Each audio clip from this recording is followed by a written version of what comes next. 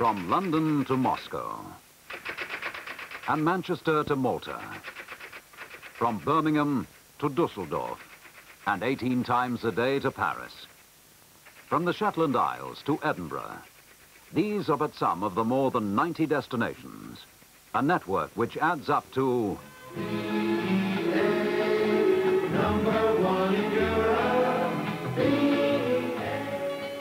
Number one in Europe. Just what does this mean? In our fast-moving, fast-talking world, is this another of those all-embracing claims? Or do the facts make up a picture of a number one airline? Well, here's the picture. See what you think. So let's take first things first. BEA just didn't happen. It was born from the traditions of the Royal Air Force and BOAC. In fact, it was in 1946 that the European roots of BOAC formed the basis of the airline. A number of British air companies were then brought together within the Airways Corporation, which became known to the world as British European Airways. And since those days, 25 years ago, BEA has many firsts. In the early 50s, the start of the Silver Wing service to Paris using the Elizabethan aircraft. And the world's first regular passenger-carrying helicopter service. Then another step forward, the first ever turbine-powered passenger service. The very successful BEA Vickers Viscount, which had the special honor of being entrusted many times with the first family in the land. And as the years passed, BEA spread its wings into the jet age. In 1967, a Trident made BEA's first automatic landing on a scheduled flight. Since then, over half a million passengers have been landed under automatic control. This was another world first in civil aviation. Today, with a fleet of nearly 120 aircraft, BEA takes its place among the top great airlines of the world. In terms of passengers carried, BEA is the largest airline in Europe.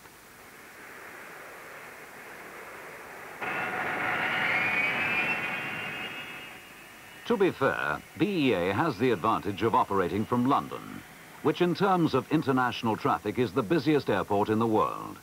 This is the crossroads of the airlines and the natural transfer point from the long-range machines to, well, shall we just say with pride, that nearly 400,000 visitors choose BEA. It is an astonishing fact that on a busy day, London's air traffic control handle close on a thousand flights.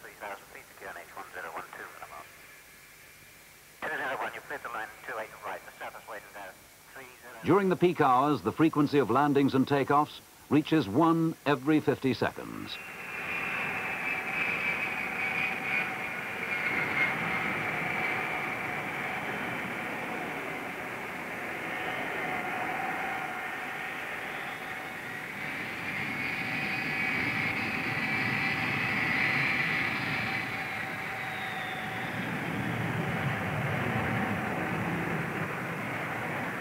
BEA is geared to meet this ever-increasing flow of passengers.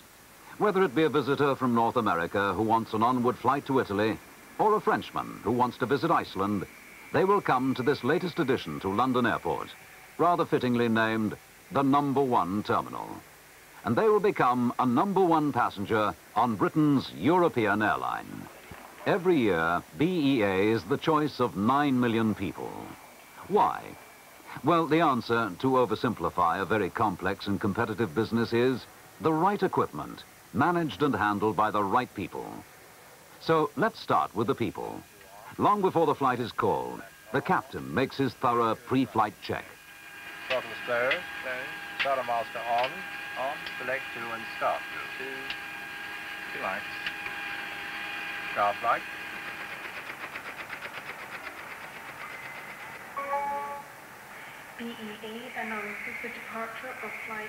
Then check-in time.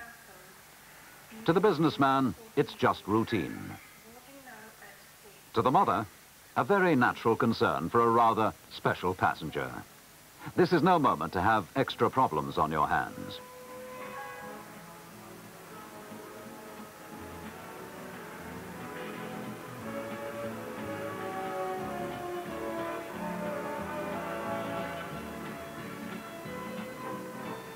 To many, the moment of check-in is the first personal contact with the flight. A travel agent now far away has made all the arrangements. The ticket says, okay. But I wonder, is it? Or has someone along the line forgotten? Oh, good. Everything's okay. Gate 10. What lies behind this simple booking? Well, it's anything but simple. In fact, it's Beacon, a vast computer complex which gives the BEA network an immediate reservation system and coordinates the many requests that make up a total service for business and holiday travelers. Returning by BE 023 from Orly on the 19th.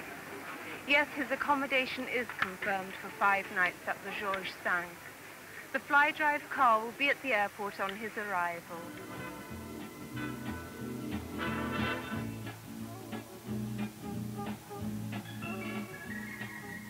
But the present-day traveller takes this high level of service very much for granted. Quite rightly. They expect airlines to be efficient.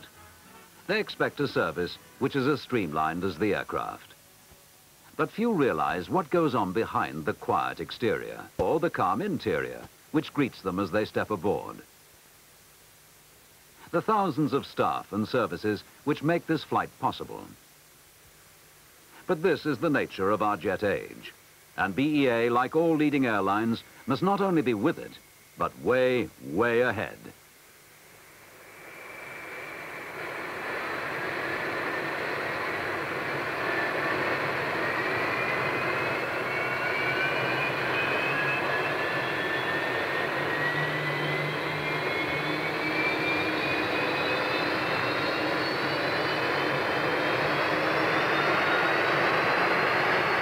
Good afternoon, ladies and gentlemen.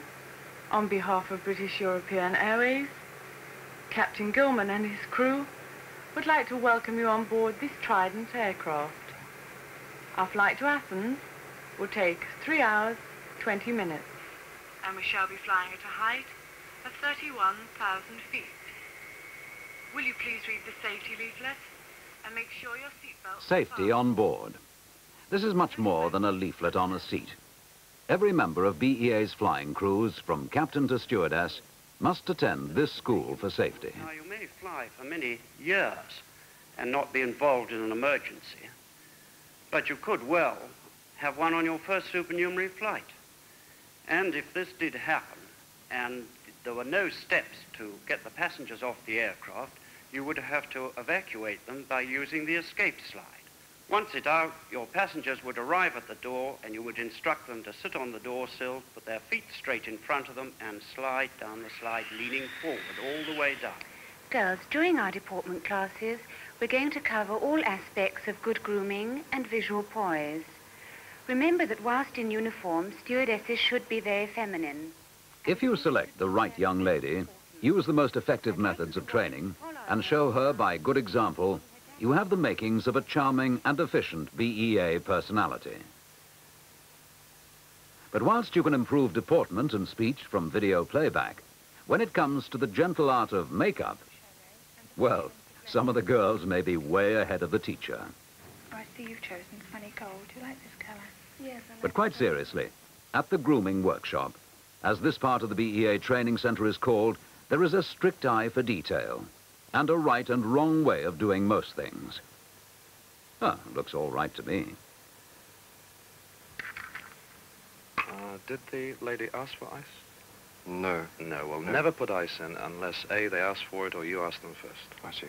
Would you like ice? I would please. And, And when it comes to cabin service, it's the same attention to detail. Even the classroom is the right shape. It's all designed to give the new stewardesses and stewards the best possible training, so that the service in flight will have that easy, friendly, number one quality. Like most things which are done well, it looks easy. And yet only one out of every 15 applicants is accepted for cabin staff on BEA.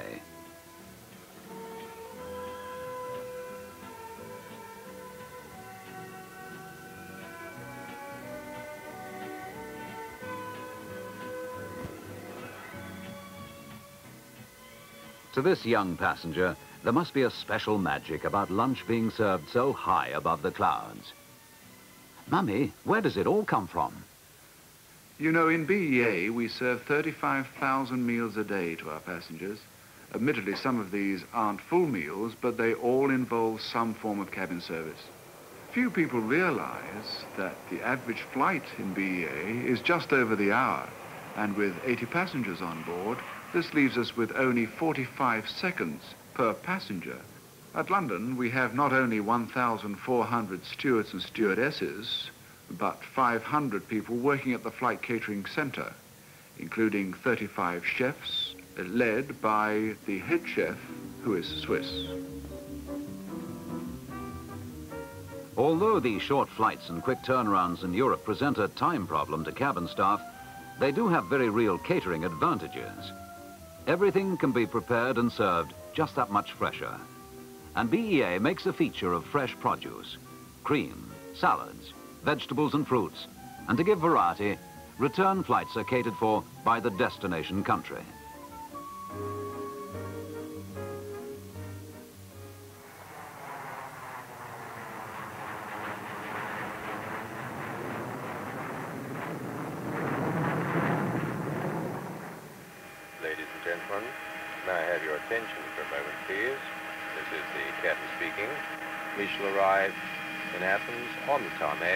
On schedule at 10 minutes past 4. The flying conditions all the way are good, and in Athens the temperature is in the 80s. I trust that the cabin staff are taking good care of you and that you're enjoying your trip. Thank you for your attention.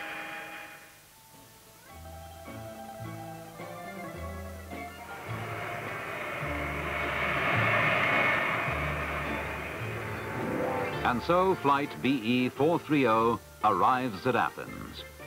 And the passengers go their way through this modern marble temple to discover or rediscover the glory that was Greece.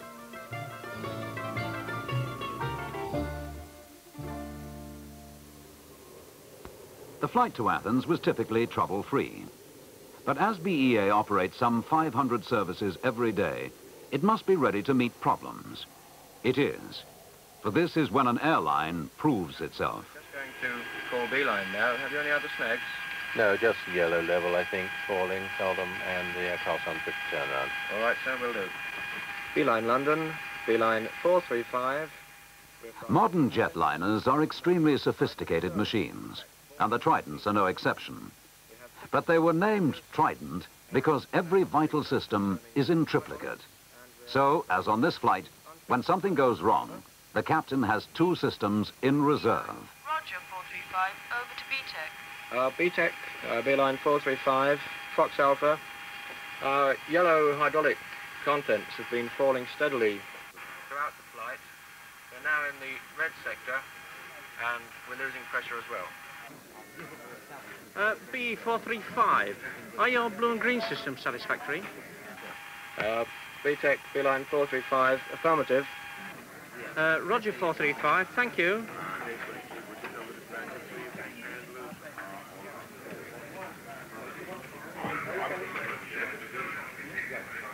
Well, Fox Alpha won't make the turnaround, Eddie. Fox Alpha. Okay, can we use Fox Bravo off the Malta service? Yes, I would think so. I'll get in touch with Mainsail. Good Morris.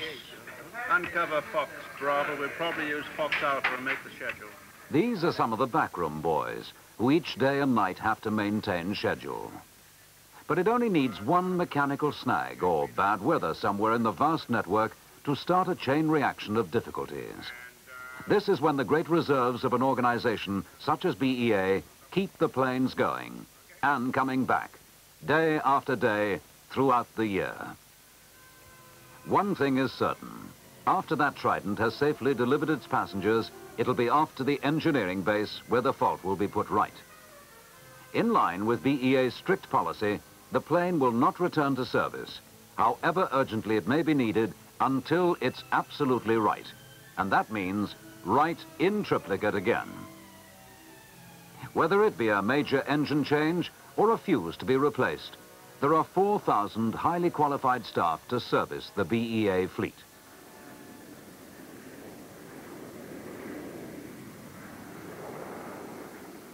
Of all the firsts in BEA's 25 years, it could be said that the Autoland program was of great significance. To acknowledge this contribution to British industry, BEA received the honour of the Queen's Award. And to do the honours on behalf of Her Majesty, here is Field Marshal Sir Gerald Templer. You've enabled Britain to take the world lead in this vital field.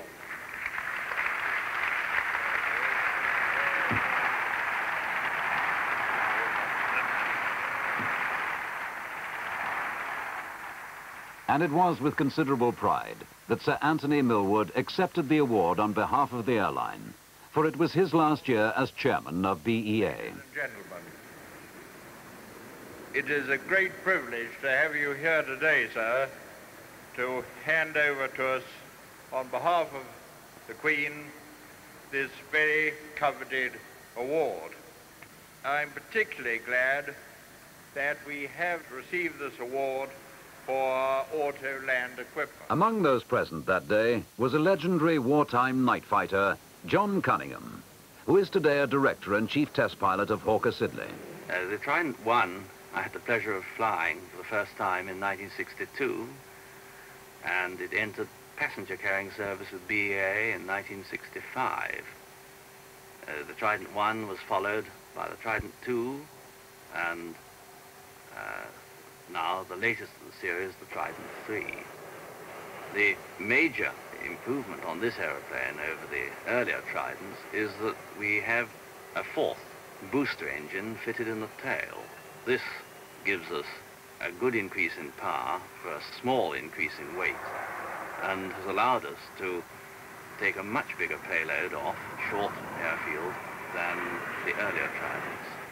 Every single feature of the aeroplane, whether it's the engine performance or the aerodynamic performance, is recorded and analyzed very closely. Our test program has covered the complete automatic landing on this aeroplane, and of course we have built on all the experience that we've gained from the earlier development work on Autoland on the Tridents 1 and 2. Autoland is many things to many people. To the passenger, greater safety with fewer delays or diversions. To the airline, better timekeeping. To the pilots, well, here's a senior captain of BEA. Auto land, as far as we're concerned in BEA, is really the means by which we are mounting our program of all-weather operations. We are aiming, over the next few years, to be able to operate in the conditions of fog, that is down to visibilities of some 50 meters. And it's not only fog, but blinding snow and rain, which can close airports and cancel flights at a moment's notice. It is in this direction that BEA has been looking and working for 12 years. The best technical brains and a lot of money have put BEA way ahead in this important field of bad weather landings. But there's no instant magic which can be electronically switched on. It is a step-by-step -step procedure, where very advanced equipment in the air and at the airport must be coordinated with flying experience. With a passenger service, it has to be a careful process of trial without error.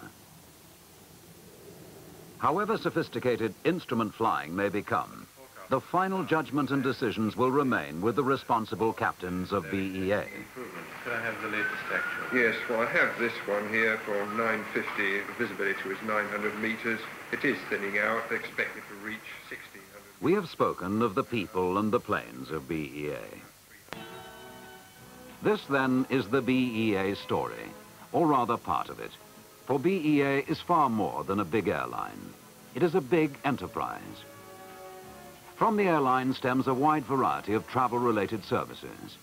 There is BEA Cargo, operating from London at the largest cargo centre of its kind in the world.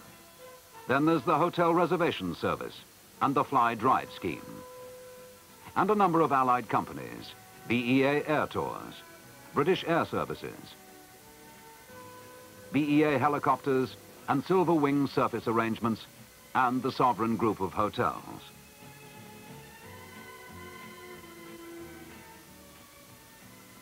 Under the leadership of BEA's chairman, Mr. Henry Marking, top management guides these many investments to one end, to offer the passengers of BEA a total customer service. But the primary concern is still running the airline and planning for the years ahead. For new generations of passengers and new generations of aircraft which will carry the name BEA through the 70s.